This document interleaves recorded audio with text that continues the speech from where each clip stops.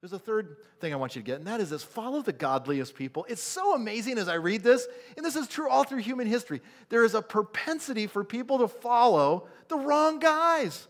I mean, think about it. Two million people are siding with the 10 guys instead of the two. Well, it's the majority. We should go with the majority, and then let's just have, you know, let's just kill Moses and we'll have an election and then we'll just appoint someone else. Bad decisions all the way around. Better to stay with the guys who are trusting God.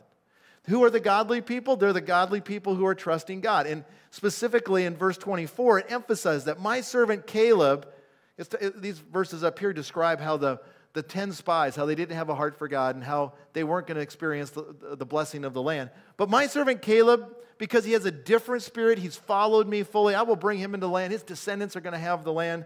Joshua the same way. Now, God knows that Moses and Aaron are going to sin and they're going to end up missing out too. But these two guys are going to go in and occupy the land. Why? Because they have a different spirit. My question is this Who do you naturally follow, friends?